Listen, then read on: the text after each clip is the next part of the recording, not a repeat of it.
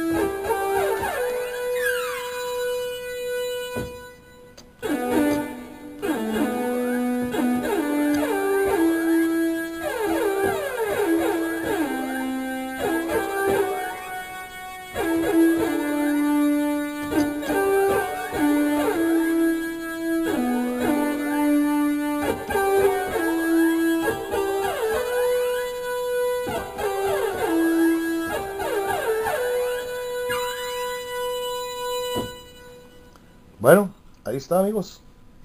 Editado en el Core M1.